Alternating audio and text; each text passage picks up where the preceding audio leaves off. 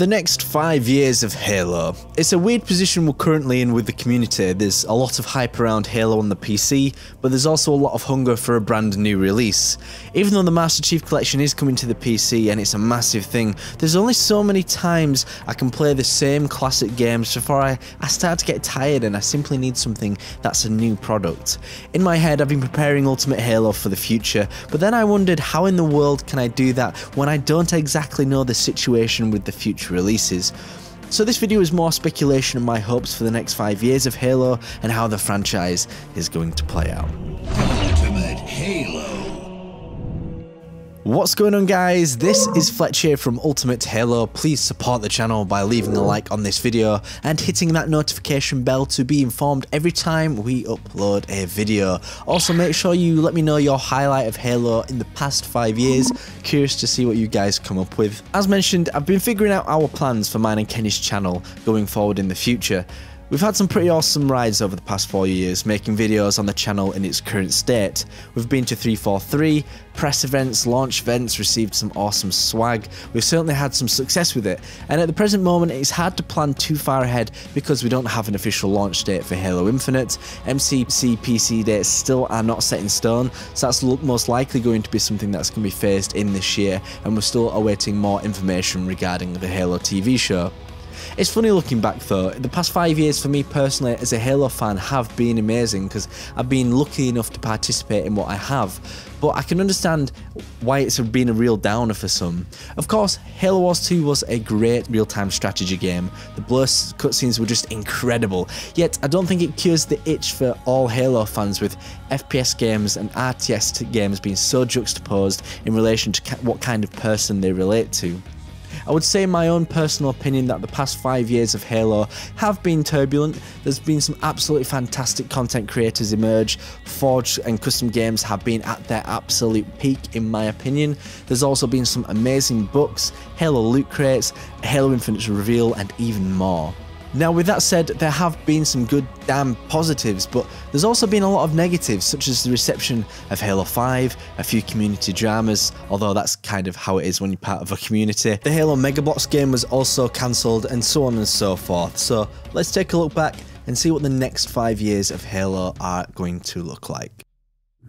First off, let's talk about 2019. For a start, I do not believe that the Halo TV show will premiere this year, but I'll cover why and when I think this will be the case later on in the video. I think as of the point of this video releasing, our next viewing of Halo will be at E3 2019, the weekend commencing the 11th of June. Halo Infinite will for certain be a presence. I'm not 100% sure if this will be a gameplay trailer or not. My gut tells me that we're probably going to see another cinematic trailer, but this time more reflecting actual in-game events, with maybe the smallest glimpses of gameplay. I also believe it's in Halo's best interest not to show too much of the game. I think the game needs to be full of surprises for the player, and I, I would keep it a carefully guarded secret. The reveal trailer for Halo Infinite was fantastic, it evoked many emotions in fans such as nostalgia, excitement, mystery and hope, and I think if 343 can continue to progress with the momentum of those feelings, I think that would be their best approach. Separately to that, I also feel like we'll have a separate multiplayer trailer for Halo Infinite, perhaps more focused on the arena. I think it's clear that 343 Industries are taking esports very seriously, and even though I don't know too much about it myself, I'm trying to get up to speed and get more involved with that side of the community.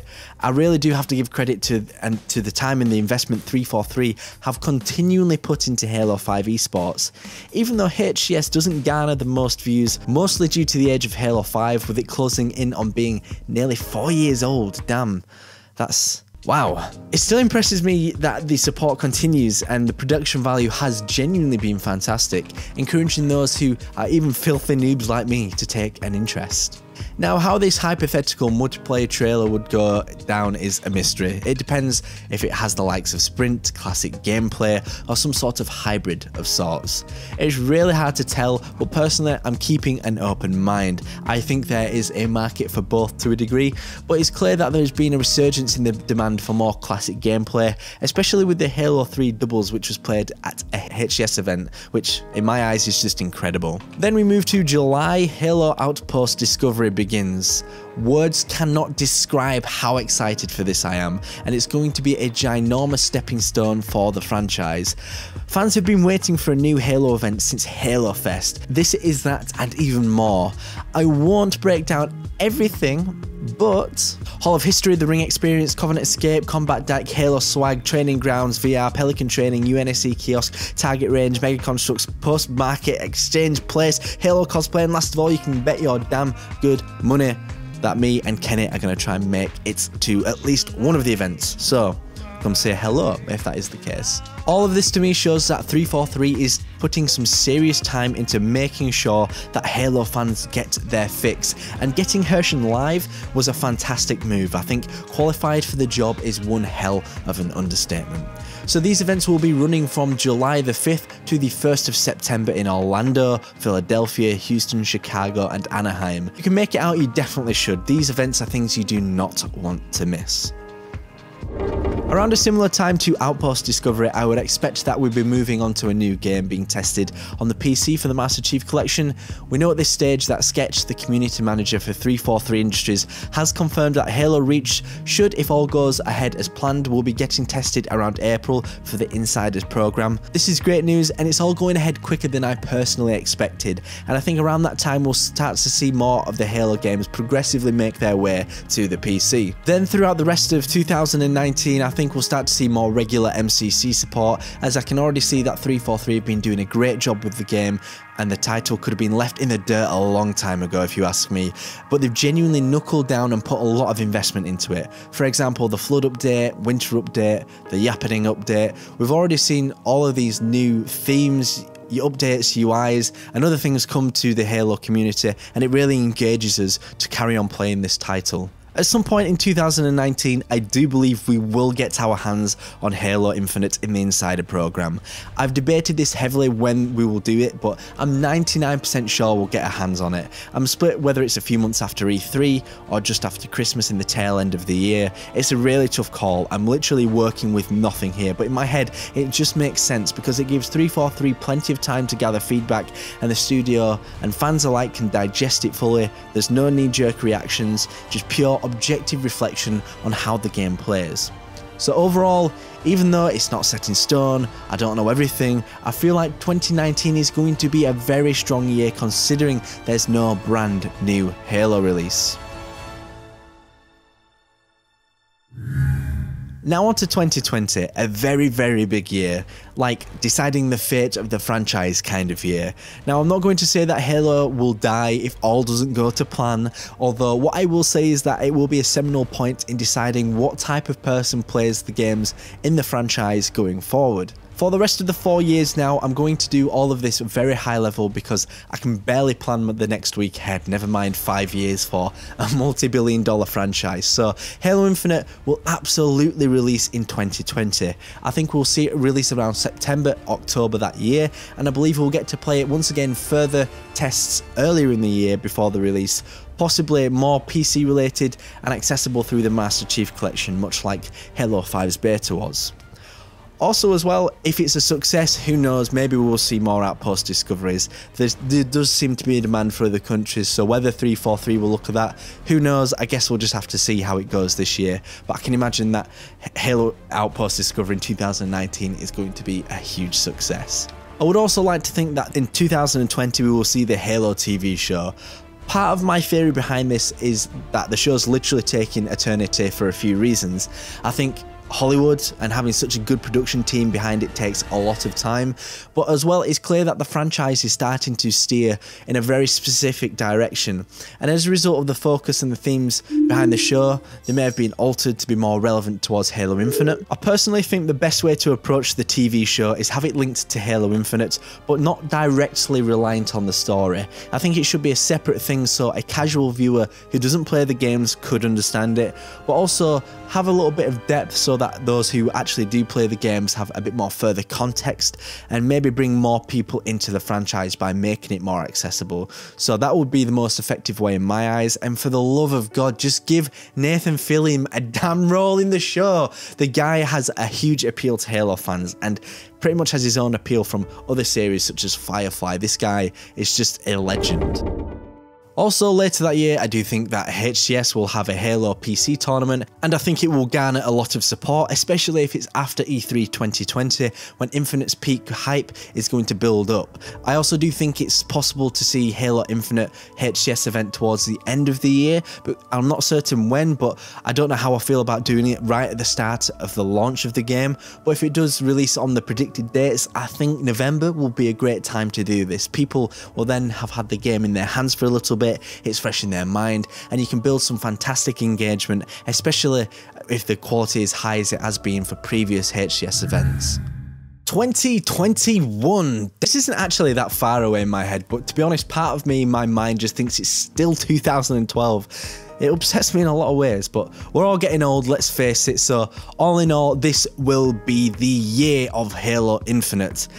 I imagine there will be plenty of regular updates to keep fans coming back, and after all, we do have to remember that this game is going to be treated almost like a live service, and because of the long development cycle 343 have put in, will they will want the game to last as long as physically possible.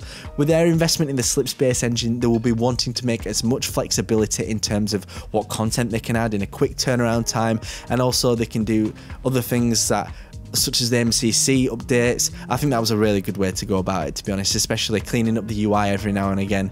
And from my understanding, Halo 5 was a very difficult game to develop for in terms of regularly pushing out content and in terms of the sign off processes, everything had to go through. Another consideration is the new generation of Xbox consoles. Will Halo Infinite launch on it? Which I think is likely, it's probably going to be a yes, but I wouldn't be surprised if we saw new hardware in 2020, as the Xbox One did release in 2013 which means it's now an aging console. So hold on for a rocking year because I don't think it's going to slow down. I think the hype will genuinely be immense. Other than that, I can't see too much else happening in 2021. I think the support of Halo Infinite will be strong and the community as well, as well as HCS will carry the game running for a good long while. 2022. This is just like terrifying now. Like, uh, I'm gonna have to do like very high level stuff because I think we'll get a new Halo trailer at E3 that year. I think that the mainline Halo games are not going to be as common events anymore, and I think that it gives Halo room to sort of experiment with new styles and genres. If Halo Infinite is a profitable and sustainable business model, who's to say we can't get a spin off horror game, a game based on the Insurrection War, a prequel? If you say Halo 3 remastered, I will kill you. You hear me? Uh, I mean it. Okay, good. So no Halo 3 remastered. We don't need it. There really is a lot to work with with the Halo universe, and I think if Halo Infinite reaches new levels of popularity, we're all in for a great time. I do think that it's then possible to see this new game in 2022. I wouldn't be shocked if an external studio was working closely with 343 to develop it, because they do have a long history of working alongside other creators, such as Certain Affinity and Creative Assembly, and to make sure their projects are more complete and developed. Plus, with them already having that relationship with Creative Assembly, they did a great job on Alien Isolation, so a Halo Flood horror game? Yeah? Yeah, I think we should go with it. Uh, screw it. I'm going with that. Halo Horror Game 2020. You heard it here on Ultimate Halo. Then, of course, more Halo Infinite HCS stuff, and as well as other Halo based events if there's still a thing by that point. And then I think we're in for another great year of Halo. That's if Infinite's good. I'm sure it will. We're now coming to a close, so wind down as the video is starting to end. I think that 2023 should see the support of this new launch, and, and, I think other games such as Halo Infinite will continue to be supported toward the tail end of its life cycle, and then we can start going into hype mode for the next Halo game, which will hopefully be the sequel to Halo Infinite, just as long as they don't do some crazy shit like kill off the Chief. Can can you even imagine? I don't even know what I'd do with my life. I think I'd die knowing if the Chief died. He's been like there all of my life. Wow. But I expect a trailer for the new game, and then I think it will be up for a 2024 release for the next Halo game, whether it's, I don't know, Halo Unity, Halo 2, Infinity going to take my money, Halo, Halo, Halo 4 Fall of Yap Yap. You get my point. There's going to be a new Halo game. I think it's going to be 2024. I know this is kind of like stupid, pointless speculation, but I do kind of just want to put my opinions forward. And who knows what we're going to get over all the years as a whole. Are we going to get more Halo TV shows, mobile games, events, books? Well, books are an absolute certain. Merch, VR games, another Halo Wars? I, I doubt it, but still, I don't think it was that big of a success to justify a third. But I think there's something you can bet your damn money on, and that is I want your opinion in the comment section below. Let me know your thoughts, and once again, my name is Fletch. You've been watching Ultimate Halo, and I will see you in the next one. Peace. Subscribe now to Ultimate Halo for more unfriggin' believable Halo content.